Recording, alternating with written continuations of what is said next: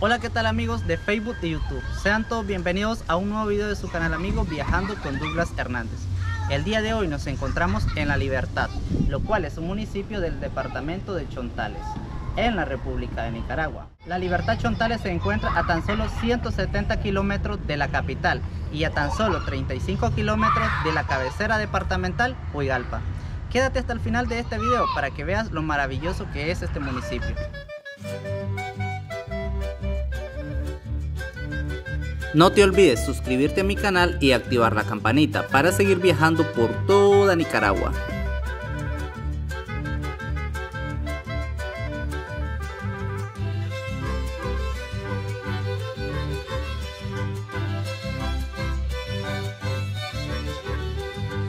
La Libertad es un municipio con una centenaria y rica tradición aurífera. Es la cuna de ilustres personajes de la historia nacional, como el comandante Daniel Ortega Saavedra, el cardenal Miguel Obando y Bravo y el héroe Cornelio Silva Argüello. Su relieve está marcado por la colosal figura de la Sierra de Amerisque, por el correr de muchas aguas y por un clima fresco y acogedor. La Libertad Chontales limita al norte con Camuapa, al sur con San Pedro del Lóvago, al este con los municipios de Santo Domingo y al oeste con Huigalpa y San Francisco de Cuapa. Las fiestas patronales de la Libertad han sido dedicadas desde mediados del siglo XIX a la Virgen de la Luz, el 10 de mayo, las festividades se destacan por actos religiosos, tardes taurinas, caballito de palo, desfiles de gigantonas y fiestas populares. Aquí también se celebra Semana Santa y al Divino Niño, este último festejado por la profesora Lorena Acevedo Borges.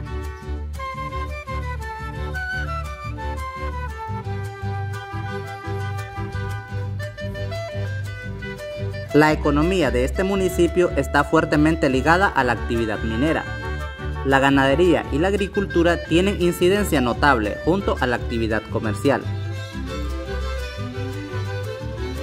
La Libertad Chontales posee una extensión territorial de 774.55 kilómetros cuadrados y una altitud de 498.85 metros sobre el nivel del mar.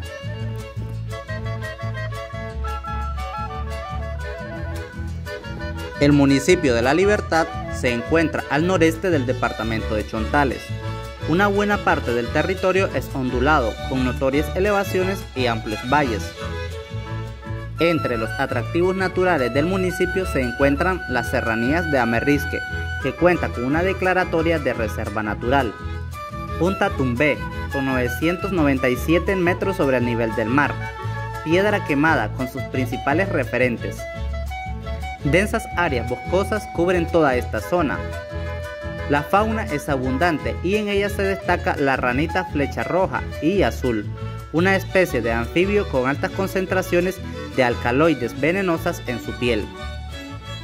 Las cascadas El Corozo, que son un espectáculo de la naturaleza. Allá, en la comunidad de Betulia, antiguamente puerto de montaña, se encuentra el Salto El Brujo, una hermosa caída de agua con una amplia poza que es el deleite de quienes se aventuran a sumergirse en ella. Este lugar es parte del inicio del recorrido del río Siquia.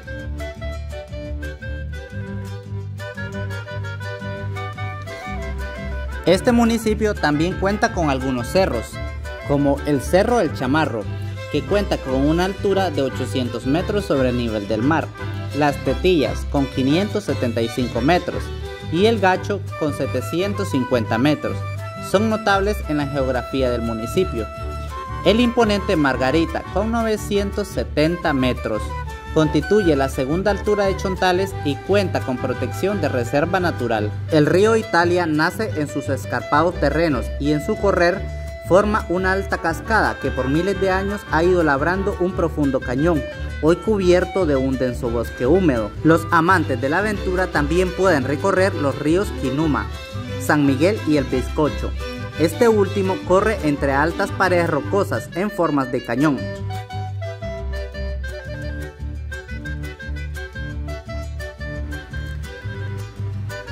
La flora está compuesta por las especies como caoba, laurel, mangle blanco, níspero de montaña, cedro macho, genízaro, Guanacaste, Canelo, Coyote, Cedro Real, Pochote, Coyol, Madero Negro, entre otras plantas frutales, orquídeas y medicinales.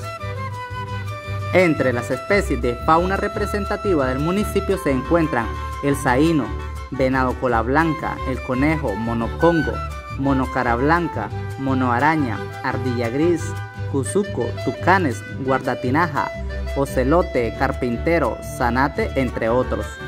La abundante riqueza de toponomías indígenas en el actual territorio de la Libertad nos da una idea que los primeros pobladores eran de origen mayagna caribe, que fueron desplazados más tarde por otros pueblos chontales. El último asentamiento indígena fue el Jobo.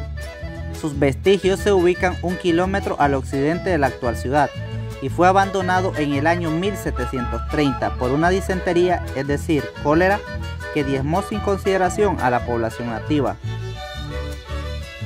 A finales del siglo XVIII arribaron españoles y mestizos para evangelizar a las poblaciones nativas.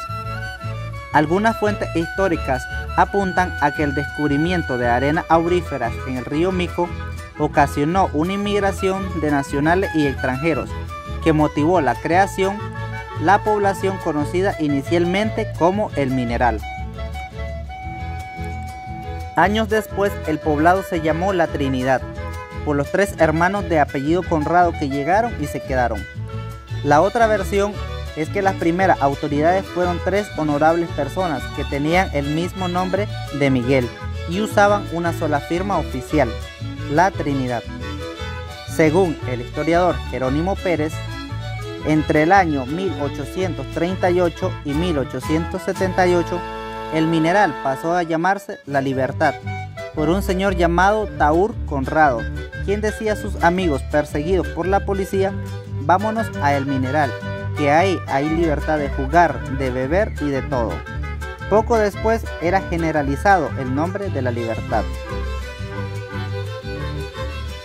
La llegada de inmigrantes nicaragüenses, franceses, alemanes, italianos, ingleses y más tarde norteamericanos y canadienses, surgen nuevas tecnologías para la explotación minera, lo que contribuye a fomentar el desarrollo socioeconómico de la libertad.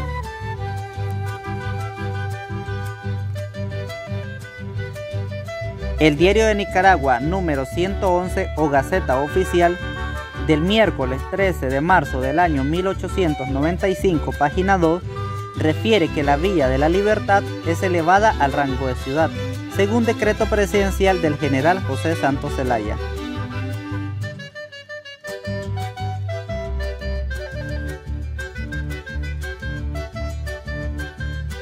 Entre las expresiones y manifestaciones artísticas, en la Libertad Chontale tenemos el tradicional Tope de la Luz, que se celebra del 9 al 12 de mayo. Es un carnaval lleno de colorido que cuenta con la participación de un grupo de enmascarados tradicionales que bailan al son de chicheros y se acompañan de una gigantona.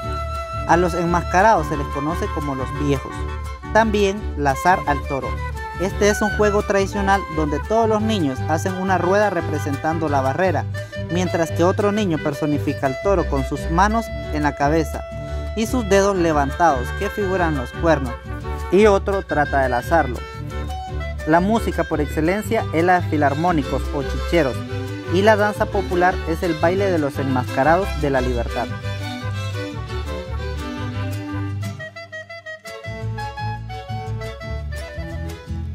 Entre los oficios artesanales se corresponde a su vocación rural, por lo que podemos encontrar ganaderos, agricultores, mineros, guiriceros, joyeros, talabarteros y pequeños empresarios del oro. La libertad está sentada sobre grandes yacimientos minerales. El más importante es el oro, que ha sido extraído en incalculables cantidades durante los últimos 200 años. Don Cipriano es uno de los pequeños empresarios que actualmente tiene unos 80 años. A los 18 incursionó en el mundo de las minas y todavía se resiste a abandonar el oficio pero ahora ya no lo hace como empleado de ninguna transnacional, sino como pequeño minero.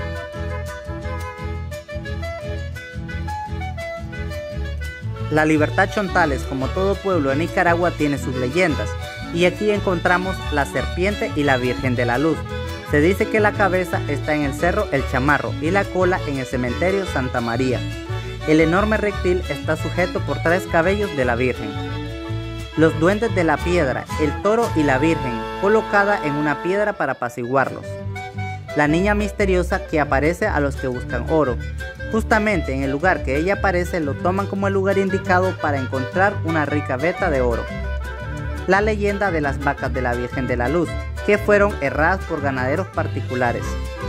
El bólido es un relato que cuenta la aparición de una enorme luminosidad en el cielo, ante la falta de juegos artificiales para la Virgen de la Luz.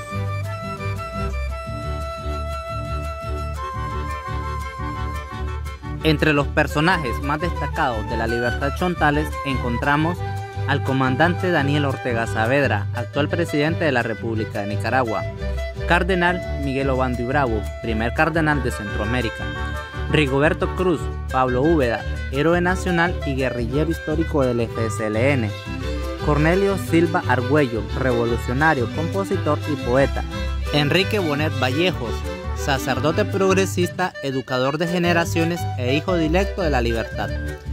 Darwin Kaufman, economista, exalcalde e investigador de la historia y cultura local. Entre los sitios de interés histórico y cultural encontramos el Mirador La Cruz del Perdón, Minería Artesanal, Antiguo Túnel El Jackson, el Cementerio La Bola. En artesanías tenemos talabartería, elaboración de botas vaqueras, zapatos, bolsos, polainas y albardas. En joyería, oro y plata, diseño y elaboración de joyas de diferentes estilos y quilatajes.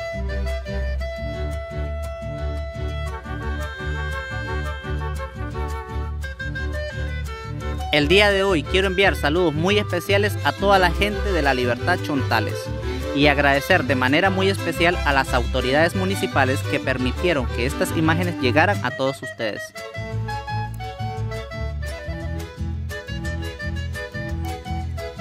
No te olvides darle like, comentar y lo más importante, compartir.